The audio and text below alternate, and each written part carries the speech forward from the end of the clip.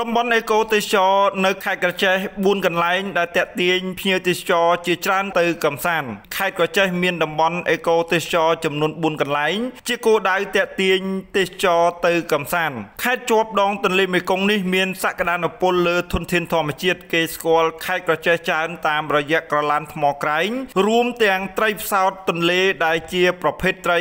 កម្រចិត្តផុតពូជនៅលើពិភពលោកតាក់ទងតំបន់អេកូទេសចរក្នុងខេត្តត្តវិញក៏មានតាក់ទាញទាំងទេសចរក្នុងស្រុកនិងក្រៅស្រុកហើយដែលស្គាល់ជាទូទៅ គឺសហគមន៍ទេសចរកោះត្រង់សហគមន៍ទេសចរកោះត្រង់មានទីតាំងស្ថិតនៅ សង្កាត់កោះត្រង់ក្រុងក្រចេះចម្ងាយជាង1គីឡូម៉ែត្រដោយធ្វើដំណើរឆ្លងកាត់សាឡាងពីទីរួមខេត្ត Land Rover នាំចូលនឹងចែកចាយផ្ដាច់មុខដោយក្រុមហ៊ុន RMA Cambodia